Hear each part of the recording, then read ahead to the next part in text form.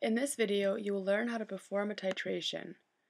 First, mount a burette to a stand by pinching two clamps together and releasing to hold the burette. Next, place a waste beaker beneath the burette and a funnel on top of the burette. Carefully pour sodium hydroxide solution through the funnel.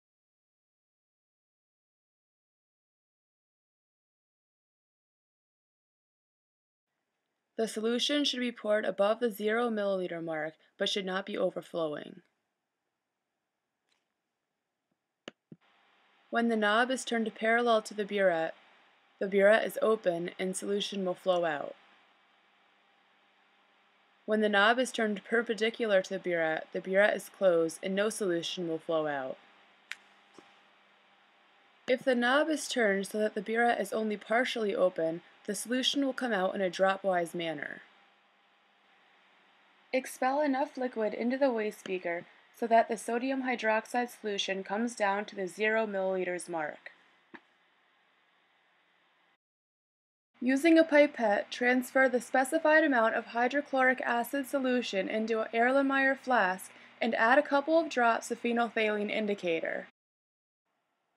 Replace the waste beaker with the Erlenmeyer flask and be sure that the tip of the burette is about halfway inside the flask to prevent spillage. Add the sodium hydroxide solution to the hydrochloric acid solution in a dropwise manner. You will notice that eventually the drops will turn a pinkish color when they hit the hydrochloric acid solution. When this occurs, have your partner gently swirl the flask and you will notice that the pink color will completely turn clear once again. When the pink color begins to linger, slow the addition of sodium hydroxide to one drop at a time. Add one drop, swirl until clear, and add another drop and repeat. Eventually, the solution will stay light pink even after you swirl it. At this point, the titration is complete.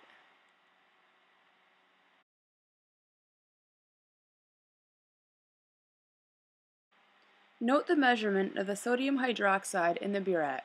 This signifies how much sodium hydroxide was used for the titration.